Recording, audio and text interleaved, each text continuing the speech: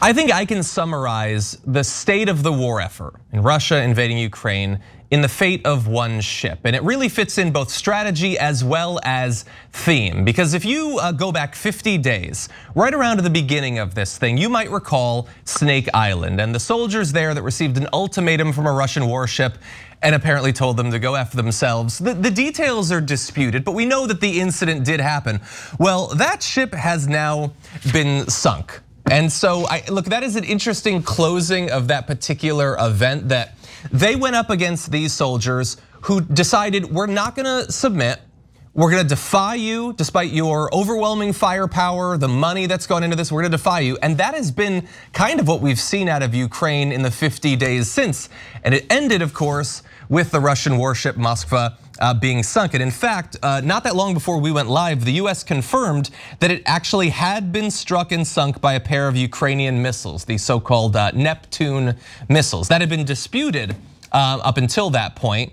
The ship had sophisticated air defense as well as offensive missile capabilities. It was actually capable of um, uh, holding and launching more than a dozen uh, long range cruise missiles. So that is now gone for the Russians, at least for now, since they don't have many ships of that class. This was the flagship of their Black Sea fleet.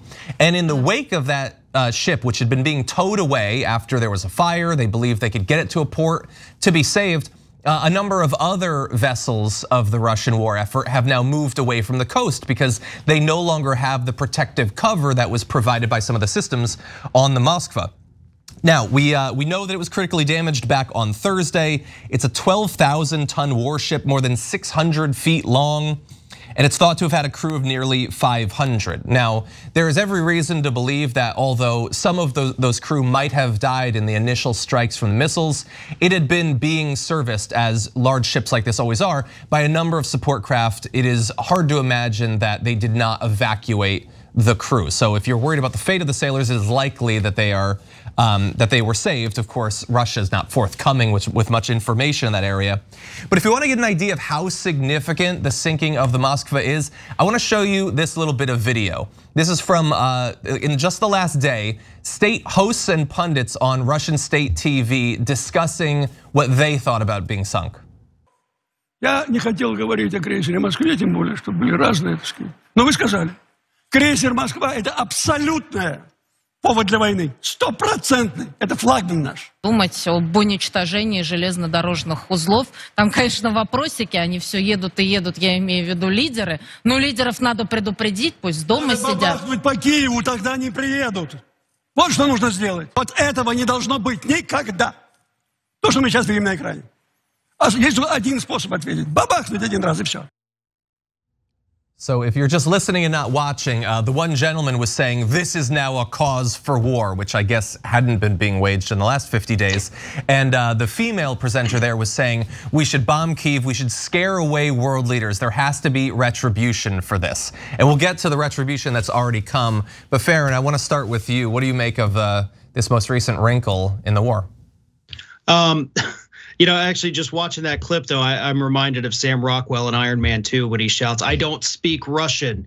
Um, so it was a little confusing there for a moment, but no, for real though, it it, it makes me wonder what exactly is Putin's end game at this point. I mean, we have seen this remarkable show of resistance from Ukraine. Uh, they have also suffered tremendous casualties. That's that's absolutely true. As as has Russia at this point, you know, with tremendous troop loss. So I, I'm left to wonder when we see these, you know, very big victories for Ukraine, which this is, what exactly is Putin's goal here at this point? And we know he cannot turn around and just say, okay, everybody get out and come home. This is the kind of guy that wants to project this image that I am the biggest, baddest, toughest man that has ever controlled this country. So to withdraw is admitting defeat. He's not going to do that. But how much longer can they sustain suffering these losses? You know, from Ukraine. And that to me is the big question mark. We don't have an answer to that. I don't think we fully know what Putin is really even playing at anymore, just suffering loss after loss. and continuing to do it again. So it's a very troubling situation, I would think, for the Russians. I know they're angry. They say, oh, this is a declaration of war. You've been at war, you're not doing very well. And eventually, this is going to have to come to an end. But I don't know how we get there. I, I will say, however, I, am pleased that the United States has not sent troops on the ground. You know, mm-hmm. a little bit shocked almost that we haven't. Very happy we haven't, but I thought for sure by now, if it was still happening, the US would have said, all right, screw it, let's send them. And they didn't. So I, I yeah. do applaud the administration for not getting involved on the ground there. That that's still a very good thing, and I hope it holds up. Uh, I mean, personally, I just like when any battleship is sunk. Um, as someone who doesn't believe in battleships, so I'm pro putting every battleship to the bottom of the sea. Mm-hmm. That being said, obviously, uh, not pro the expendability of human lives. Uh, uh, it is important to note that these are sailors. These are, you know, Russian military. This is not the indiscriminate killing that we've seen in cities all over Ukraine. But that being said, I think Farron's absolutely right. Putin Putin doesn't care about his own soldiers, and he cares even less, obviously, about Ukrainians and Ukrainian lives. But he treats everyone like cannon fodder. And so it is very striking to see the things that are being beamed into the households of Russians every single day yeah. as their children are being sent off to war, which is they need to just buck up and fight harder. What what are they doing? Go there, swim to Kiev, and go bomb them immediately. Like leave the ship, you know what I mean? Or like just just like that kind of like again, we've seen it so much in this country.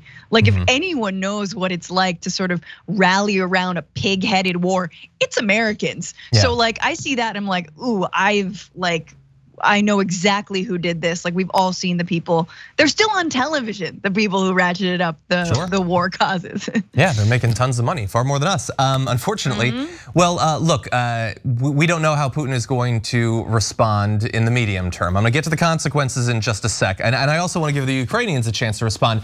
Again, I just want to add a little bit more perspective on this. Is this? I don't think that Putin cares at all about one Russian soldier dying, a 100, 1,000, 10,000. God only knows. That's not new in the Russian context, uh, not caring about the you know quote unquote cannon fodder that you've sent to war dying. But in terms of ships like this being sunk, uh, from everything that I read, the last time a Russian ship of uh, this size and uh, importance was sunk was World War II. And the last time in the world a ship like this was sunk was, I believe, during the Falklands. Like it has been decades. This does not generally happen. So very significant there. And uh, that was noted um, by a number of Ukrainians, including a member of parliament who said Moskva battleship went down with missiles and ammo used to target Ukrainian cities and towns. Now it's part of the submarine fleet, which is fun if dark. Obviously, I personally, I agree with you, Francesca. I, I, like when, when generally I would want to sink every one of these ships, but I would prefer to tow it to somewhere where it could perhaps serve as like the sourdough starter for a new uh, reef, maybe. That would be, I think, better. But in any way, in any event, President Zelensky thanked those who have shown that Russian ships can go to the bottom only. And uh, uh, the Minister of Defense said that now they have a new diving spot in the Black Sea, and a Russian warship is a worthy diving site. Well, look, already the consequences are coming. Russia attacked a military factory near Kiev. It's a factory that makes the specific type of missiles that were used to sink the Moskva. So it seems like a very targeted incident there.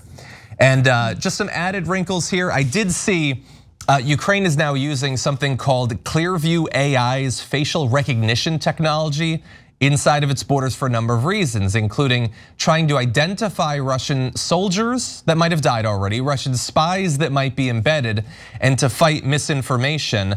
Um, they've already used this for thousands of facial recognition, recognition searches. Apparently, they're identifying Russians and then contacting their families, which we can get into that if you want, but then I also have some fears. I mean, any kind of AI like this is gonna get some things wrong. What happens when you have a false positive on a Russian spy and it's a civilian?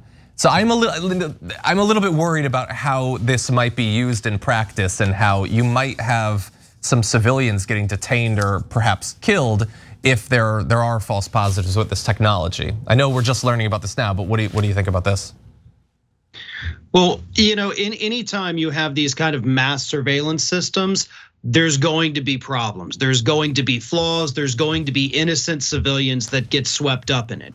I mean, we've we've been living with that here in the United States for several decades now, and we know that it's never foolproof. It's never oh we just getting the bad guys. No, innocent people get swept up. Lives can be completely destroyed by this, and mm-hmm. so it is troubling to see them doing this. You know, just because, as you said one wrong identification. You know, oh, your facial features are a little too similar to this guy. Yeah. And we could end up with innocent people being killed in the streets because they think they're a spy. That that's terrifying to think about that. Yeah. Yeah, I mean, I think Ilhan Omar, Representative Omar, um, said this early on in this war, which um, was about cautioning us around the amount of weapons that are being sent to Ukraine. And I think that obviously in this moment, a lot of us are feeling helpless and feeling like, hey, maybe that's good. And at least it's not boots on the ground. But kind of looking at other places, Libya is a great example of the amount of, or, or really anything, um, where the United States funds and puts uh like allows tons of technology, tons of weaponry, sort of green lights, helps all kinds of new weaponry get sort of um like piloted in these wartime scenarios.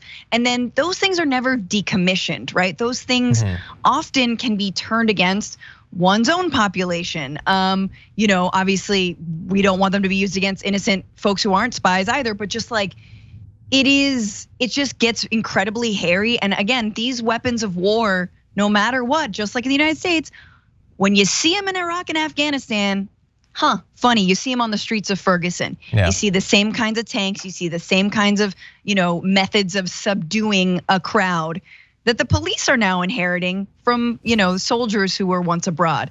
So I'm generally cautious about this kind yeah. of stuff as much as I want this war to end. Farron, you were right to point out what we've been saying from the beginning is like we're just like we're just like watching Biden. We're like don't make a move towards sending soldiers in there. We want to support Ukraine. This war shouldn't have happened. War crimes are being committed literally every single hour. We do not want war with Russia though. And uh, so far they haven't done that. Not only not sending in soldiers, but also not making some some very specific moves that have been carved out as unacceptable. Whereas like, so you can't send jets. That would be too far.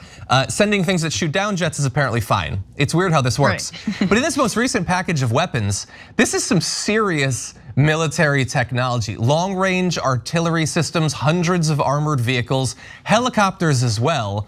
And if you can send the helicopters, why not the jets? We get into some weird philosophical differences, but Russia is now warning the US about the ratcheting up of the sorts of weapons we're sending. So we are going to have to watch that. Um, we'll see what Putin is going to allow. So far, he hasn't done anything crazy in terms, in regards to the United States, at least but we will be watching for that. Thanks for watching The Young Turks, really appreciate it. Another way to show support is through YouTube memberships. You'll get to interact with us more. There's live chat emojis, badges. You've got emojis of me, Ana, John, JR. So those are super fun. But you also get playback of our exclusive member only shows and specials right after they air. So all of that, all you gotta do is click that join button right underneath the video. Thank you.